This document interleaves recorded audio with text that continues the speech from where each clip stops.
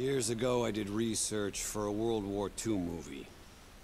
I came across some old Nazi documents. I couldn't believe what I was reading. Element 115, necromancers, raising the dead, real creepy stuff. We're completely surrounded! Come on! The coolest thing? Some of that crazy shit happened right here.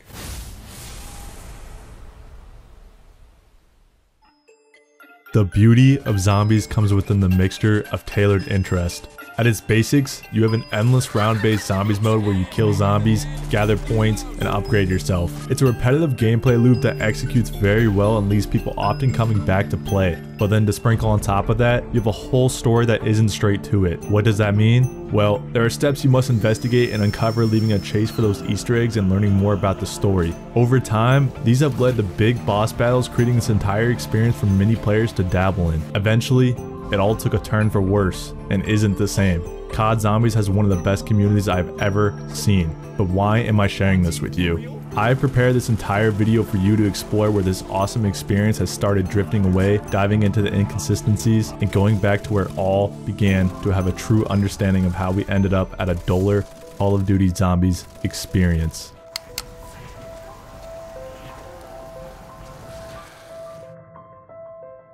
Long-lasting members of the compelling zombies mode know that this was originally not even supposed to happen. Back in 2008, the developers were trying to create a World War II game that was authentic and showed the true horrors that it was. A zombies mode was thought to be something that could hinder that and get in the way of priorities during crunch time and making that authentic experience. Developers were busy. They never had to go and do something extra. Zombies was an afterthought and began just as a few developers working on it just to have word spread around. And eventually a convincing deal happened to include the zombies mode after the entire campaign experience was completed. It left us in for a surprise treat when we first saw that that cutscene not knowing what was happening.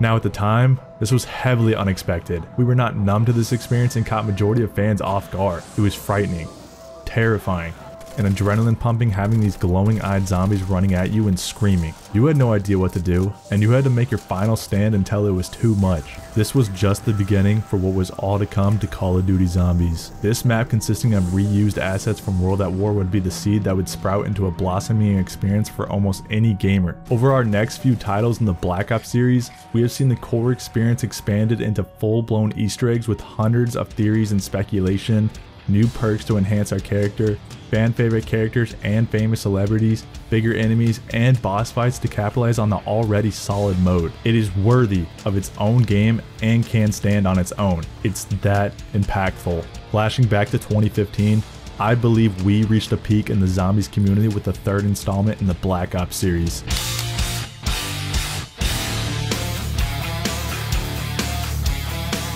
It's debatable which Call of Duty game had the best execution of the zombies mode. Looking back at all of them, they had all innovated and made stellar maps with iconic perks, characters, guns, and so on. Throughout the series, I think each one improved off the one before, and it only stopped when we reached Black Ops 4, leaving Black Ops 3 to be prime time to play the mode. This game is where we dove into everything imaginable in zombies. You had lots of different themes, remasters of classic zombie maps, new well-loved maps bringing new powerful wonder weapons, and gobblegums which was a system to make things easier for you and allowed for different playthroughs and gameplay mechanics. In 2015, we were at a time where we had YouTube in a thriving state, and we saw channels grow into a spotlight, becoming popular figures for the zombies community. People wanted to watch tutorials, learn about the story, and just watch others play the mode. There was a high demand for it, and we began seeing staples in the scene such as Mr. T Lexify, Noah J456, Mr. Rofl Waffles, and many more.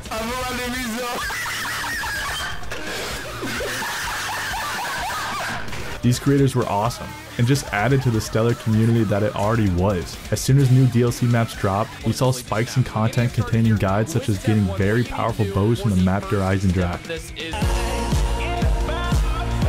The community was full of memes, creating relatable moments every day.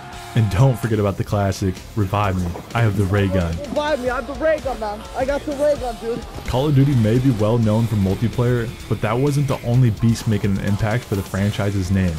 Zombies was its own staple. What I believe makes this community much different from other communities is the balance. It's the perfect size and scale. It's incredibly popular yet not flooded with overwhelming amounts of people. A lot of talk about Call of Duty's hype is primarily focused on multiplayer and whether the campaign is crossing lines with graphic content. That leaves zombies to receive less flack and have lesser restrictions with the developer's creativity. A lot of multiplayer heavy users saw this zombies mode and would try it out to chillax and take a break from the grind fest that was over on their side. And the community itself has lots of positivity and for the most part, people get along. People were breaking records of the highest round, creating challenges for themselves such as sitting in the spawn room and meeting friends who were there to revive you when you went down. It's a fair question to ask how this all shifted into what we have today. There were a few factors that impacted the beauty of Call of Duty Zombies.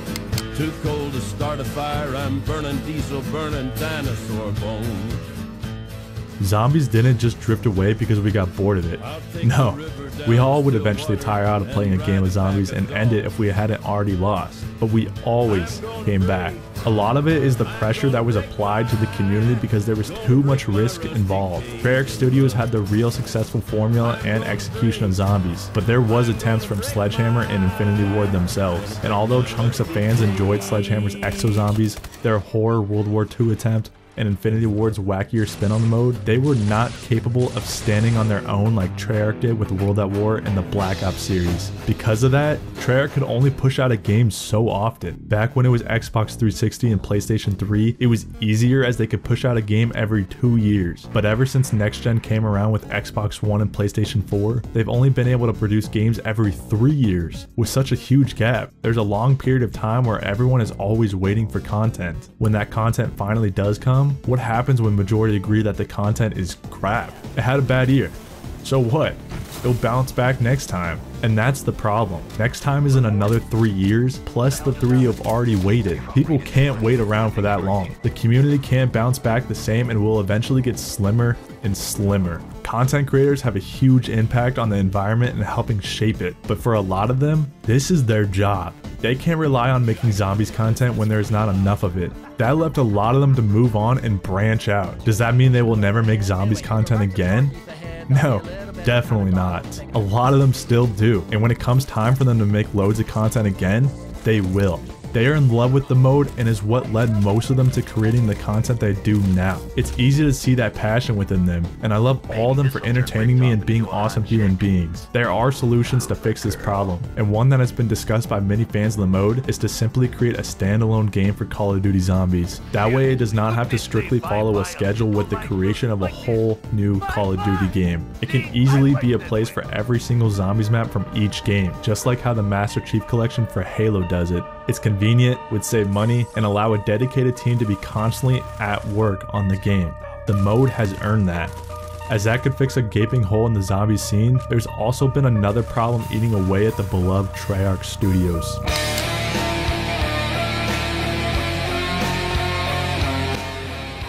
Looking at another huge franchise such as Gears of War, we've seen it be at the top competing with Call of Duty and Halo during their prime until it went downhill with the loss of their original creator.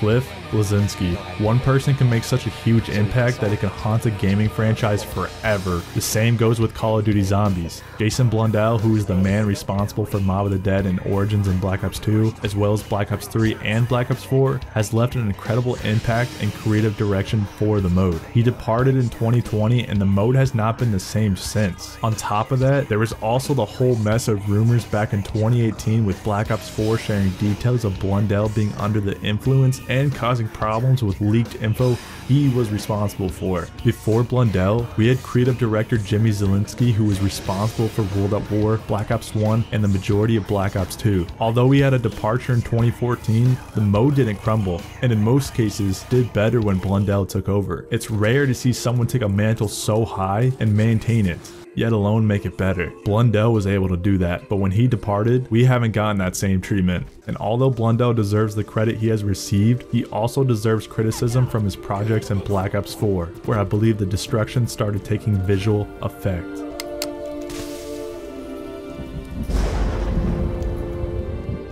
Coming off our peak with Black Ops 3, we headed into Black Ops 4 with incredible hype. Customization was going to be insane as we were allowed to fine tune settings. We were getting a new cast and story with 4 maps at launch, the most we have ever gotten on launch day. We still had the continuation of our story from the previous games and was going to see the conclusion of it in Black Ops 4, until we technically didn't. Well crap, what happened?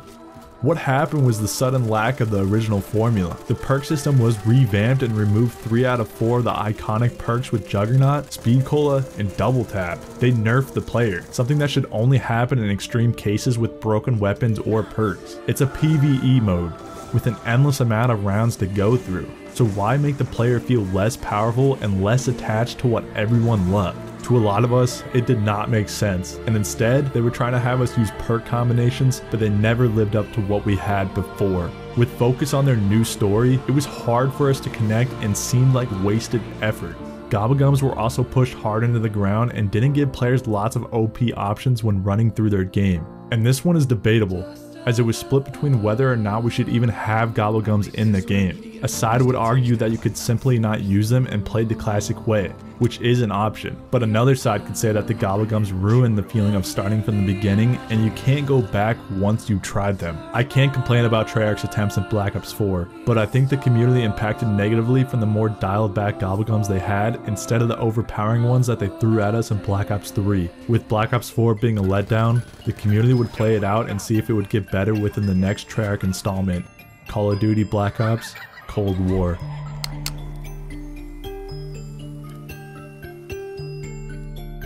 Now Cold War was a weird one for me. The community all around praises it and quite thoroughly enjoyed it, but I feel left alone because the game could not keep my attention span. To me, the repetitive gameplay loop of killing zombies and upgrading yourself felt too basic and washed. It felt lame upgrading my weapon through a robot looking thing while also being able to buy a million self revives. Operators from multiplayer replaced our characters that had soul. Overall, it felt like the multiplayer developers took over this mode while the writers tried to do whatever they could with a whole deeper dive into the story that is still based in our fan favorite one, the Aether. Just this time, it takes place in the Dark Aether. Maybe it's my own slipping away from the mode, but a part of me refuses to believe that this is what I'm settling for. Seeing others enjoy it makes me dive into good old nostalgia where I miss hearing Dempsey yell at me, Hey, player! Drop the chips and get me some ammo! friends screaming as they got mauled by zombies, and listening to passionate YouTube videos theorizing about this complex story that left Easter eggs everywhere on every map. Good old days, am I right? And while I miss those days, I will not be blinded by them. Cold War did good and proved that zombies can still pack a punch. It still was able to innovate and tried. They added a huge map and mode called Outbreak that had objectives spread around the map and you can teleport to other locations. They also added parts that you pick up from killing zombies and allowed you to buy kill streaks and mow down zombies. While the game proves to be good in areas, it's not what it was before, and has closed a chapter in the book that I don't think was ready to ever close so soon.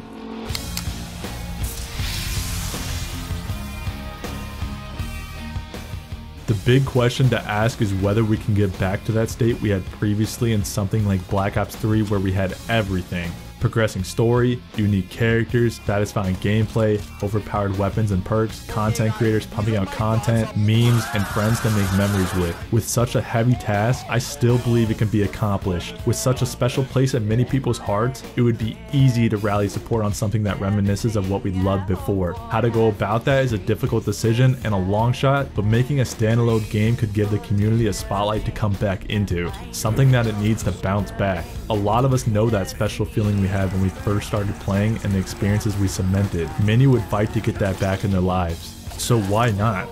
Moving on sounds incredibly cheesy and unnecessary for something like this. The magic hasn't gone anywhere. I'll still see creators making content and live streaming zombies pulling in hundreds of thousands of views because the passion is top tier. It's not just a regular game mode.